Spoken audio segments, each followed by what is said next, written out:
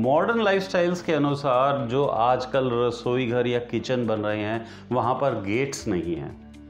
ऐसे में क्या हो सकता है? देखिए, सबसे पहले तो मैं आपको बता दूँ कि it is a dragon fire energy रसोई एक अग्नि की सूचक है और यदि आपने गेट नहीं लगाया तो वह अग्नि अब पूरे घर के अंदर फैलेगी। People will have bad mouth यानी कि वे अब शब्दों का प्रयोग करेंगे। रिलेशनशिप्स के अंदर फायर एक्सपेंड हो जाएगी, आप बहुत चिड़चिड़े हो जाएँगे। छोटी छोटी बात पर गले के अंदर कलेश होगा। फायर इंसिडेंसेस बढ़ सकते हैं।